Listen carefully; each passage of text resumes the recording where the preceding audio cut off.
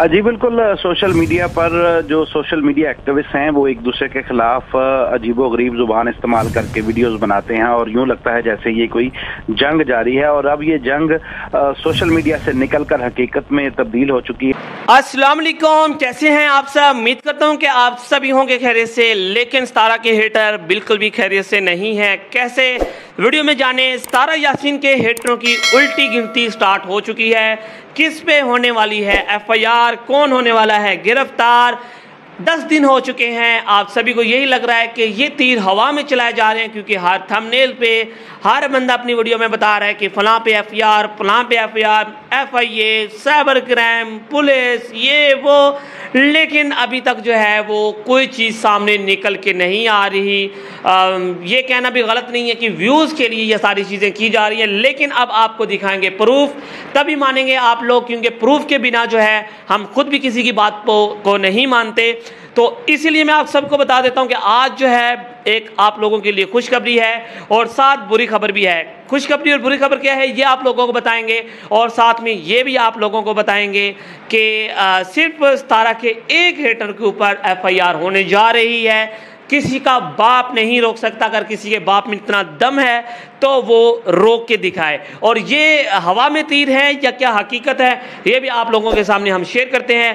सबसे पहले मैं आप लोगों को बता दूँ कि खुशखबरी और बुरी खबर क्या है? इससे पहले आपको बता देता हूँ कि एक जहद खान नामी एक शख्स हैं जो बड़ी वीडियोस बनाते हैं, बड़े धरतल्ले के साथ वीडियो बनाते हैं और हम तकरीबन उनको 15-20 दिन से देख रहे हैं तो एफआईआर कभी ये, वो बहुत सी चीज़ें वो करते रहते हैं।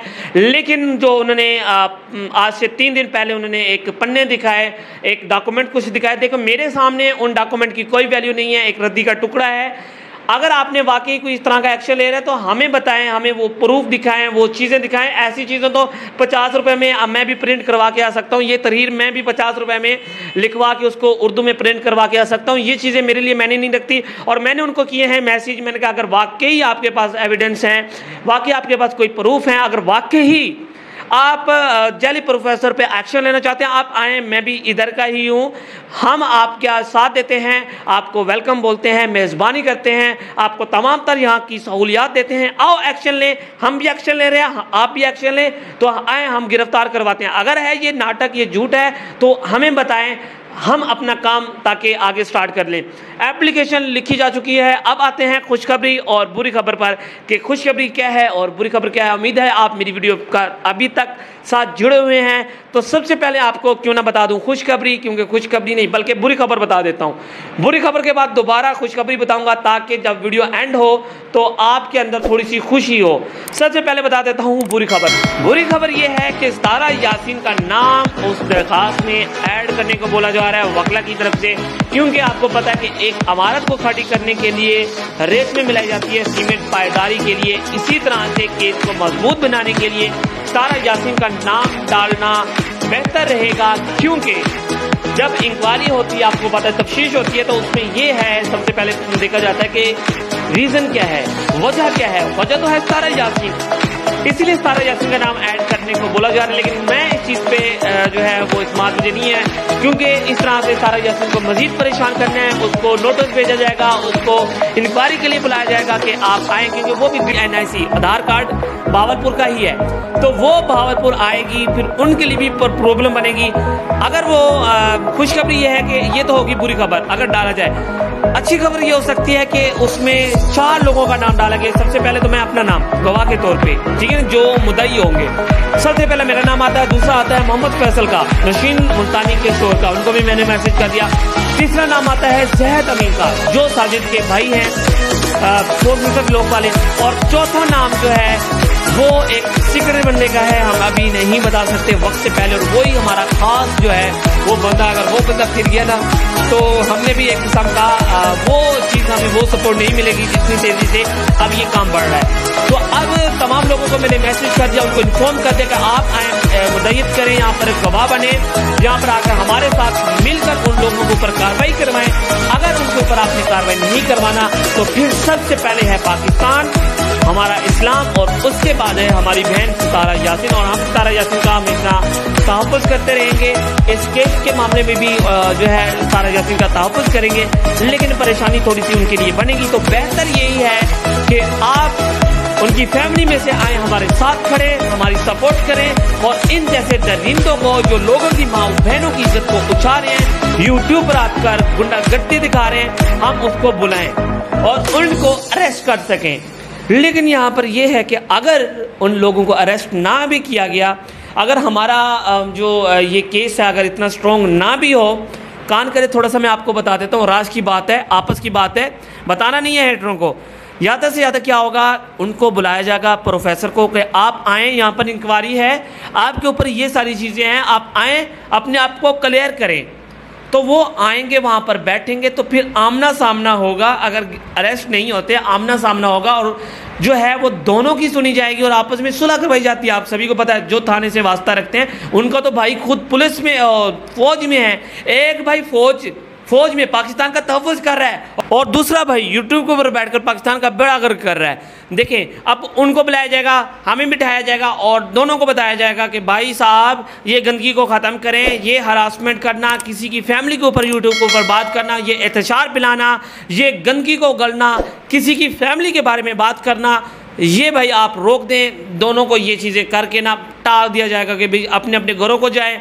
ये ये चीज़ें नहीं करेगा। अगर नेक्स्ट टाइम ऐसा करेगा तो इनके ऊपर हम कार्रवाई करेंगे। अब आप बोलेंगे, भाई, ये चीज़ क्यों बता रहा है? ये तो वो रिलैक्स हो जाएँगे, क्योंकि ये चीज़ें उनको भी पता है। वो भी इतना कोई पेंडू नहीं है। उनको भी ये चीज़ें पता है कि ये होना है। लेकिन अगर नहीं रुकेगा इस चीज़ से भी, अगर इस चीज़ से भी वो नहीं रुकेगा, इतना भी बेगैरत अगर वो बनेगा तो फिर हम आगे चलेंगे। ठीक है ना? फिर और भी बहुत से रास्ते हैं तो हम अगर सबसे वो कहते हैं ना स्टेप बाय स्टेप पहले हमने मुँह से रोका, फिर हमने उनके कुछ ताल्लुक़ वाले लोगों को कहा कि भाई इसको संभालें, ये बंदा क्या कर रहा है, लोगों की फैमिलियों के बारे में बातें कर रहा है। इनकी फैमिली का हमें सारा कुछ पता है। मुझे पता है कि वो कितना दूध में धुला है। लेकिन नहीं, हम यार किसी की फैमिली को कह रहे हैं कि उस पर पर्दा डालो हम और उस पर आ जाए कि हम प्रोफेसर की फ़लाँ फ़लाँ की फैमिली के बारे में बातें करें। ठीक है ना? फिर उनमें और हमारे में क्या फ़र्क रह जाएगा? जब हमने अपनी ज़बान से रोका, फिर उनके ताल्लुक़ वाले लोगों से रोका, फिर हम जो है उन पर ये सारी चीज़ें थाने में उसको बुला के उसको समझाया पुलिस वालों था है सबको वतन प्यारा है। सबको ये चीज़ पता है कि गलत है किसी की फैमिली के बारे में बात करना, किसी को ब्लैकमेल करना गलत है, साफ़ ज़ाहिर है, पुलिस वाले उसको मुँह तोड़ जवाब भी देंगे और उसको समझाएँगे भी सही। तो उसके बाद भी नहीं रुकता तो फिर अगला स्टेप जो है वो फिर उसके लिए बहुत ख़तरनाक होने वाला है। फिर वो देखेंगे कि वो किस तरह से अपने आप को बचा पाएगा। तो ये जो है हम कार्रवाई करने को जा रहे हैं, ये मज़ाक नहीं है। ये हकीकत है जो आप लोगों के सामने बहुत जल्द आने वाली है। तो फ्रेंड जाते जाते एक और चीज़ आप लोगों को बताता चलूँ। आप लोग बोलेंगे कि कोई डॉक्यूमेंट दिखाएँ, क्योंकि डॉक्यूमेंट ये सारी एप्लीकेशन वगैरह जो है ना, आपको अगर दिखाया जाए प्रूफ दिखाया जाए तो आप लोगों को मज़ा आता है। डॉक्यूमेंट आपको दिखा दूँ तो उसकी कोई अहमियत नहीं होती।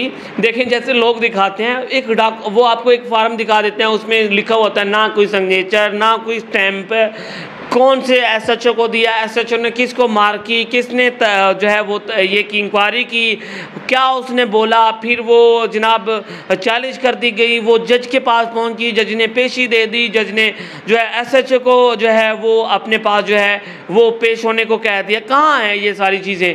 ठीक है ना?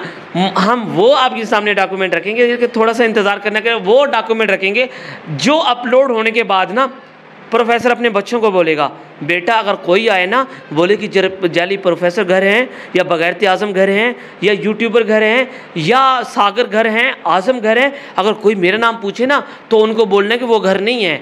ये वो इन हम डॉक्यूमेंट लेके आएँगे, जो देख के उन लोगों के पसीने छूट जाएँगे। ये जो है ना, ये सारी चीज़ें, ये मैंने नहीं रखती, हर बंदा आजकल जो है वो समझदार है, सारी चीज़ बंदे समझते हैं, लेकिन जो है ना हंड्रेड में से ना टेन परसेंट समझदार होते हैं नाइन्टी परसेंट जो है ना वो बेवकूफ़ लोग होते हैं और ये सारी चीज़ें देख के बोल देते हैं।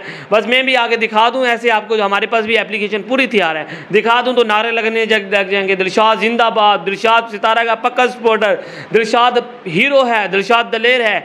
ये सारी चीज़ें नहीं है। वक्त आने जो क्योंकि सब्र का फल बहुत मीठा होता है और आप लोगों के सामने लेके आएँगे। ज़्यादा टाइम नहीं लेंगे, एक वीक का टाइम लेंगे और इन आप लोगों को कार्रवाई दिखाएँगे।